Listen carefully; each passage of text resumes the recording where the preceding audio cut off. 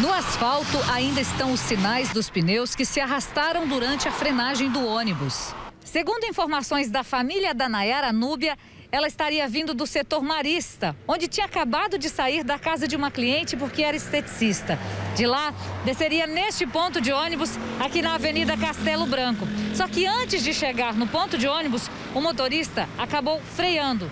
Foi aí que ela se desequilibrou e, segundo testemunhas, caiu. Não se sabe ainda se ela caiu e bateu a cabeça na escada ou se ela bateu com a cabeça no próprio asfalto. O que interessa agora é que a família pede justiça. Está acontecendo é, algumas mentiras da empresa. A única coisa que eles ajudaram foi com o caixão da minha irmã e mais nem um centavo. Eles estão falando que deu apoio lá na, no local, né? E, e a gente a gente está é, pediu para eles. No dia falaram que fariam tudo, né? Prometeram mundos e fundos. Aí após a gente foi pedir, a gente falou, olha, uma coisa, a gente queria uma coisa digna para minha irmã, né?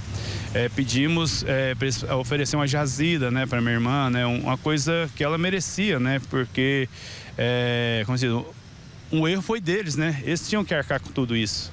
Então, é, não foi feito. Falou que não faria isso, que pagaria só aquilo ali. Weber conta que a família está em choque, que a mãe não para de chorar e o pai quase não fala mais. Sem contar que a Nayara deixou uma filha de 11 anos, que não aceita a morte da mãe. Ela todo dia acorda à noite, né? Tem pesadelos, ela tá ficando comigo em minha casa.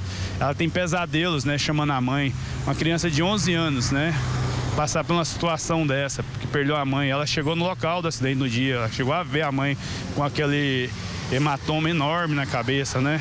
Nayara Núbia tinha acabado de completar 33 anos. E, segundo o irmão, era o braço direito da mãe. Trabalhava de esteticista, ela era vendedora, ela é uma parceirona da minha mãe, né? Que eles têm um comércio aqui que eles vendiam frango dia de sábado domingo. Então, a gente está perdendo uma pessoa de um grande valor, né? Pessoas que ajudavam pessoas aqui no setor, né?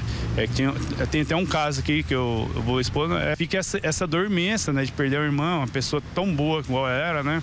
E por uma causa é, tão, como se diz, é, banal.